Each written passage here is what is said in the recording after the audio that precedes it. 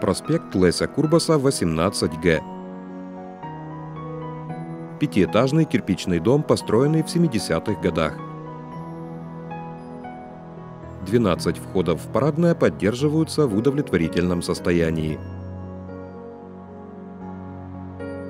Стальные входные двери имеют домофоны.